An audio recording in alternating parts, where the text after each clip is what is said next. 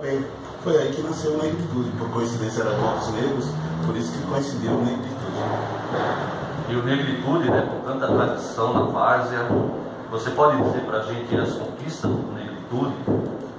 Olha, uma das maiores conquistas foi que em 86 o Negritude foi o time que mais venceu no desafio ao Galo, né?